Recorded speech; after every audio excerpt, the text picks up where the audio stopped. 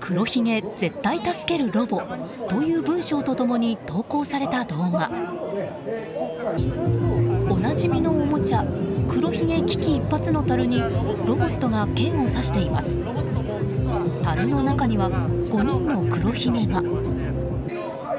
一体どうやって助けるのかというとおお。黒ひげが飛び出した瞬間奥にいた別のロボットが網で全員キャッチしました。SNS では580万回近く見られていてそっちか。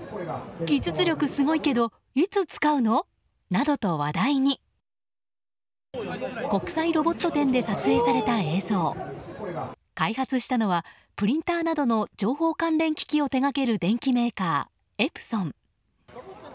担当者によると黒ひげを助けるロボットが注目されたのは予想外だったようで。苦労したところよりはその網ですくうところに皆さんあの賛成いただいたので少し複雑でしたけれど結果としてはあの我々のデモ機に注目をしていただいて非常にありがたく思っております実はすごいのは剣を刺すロボットの方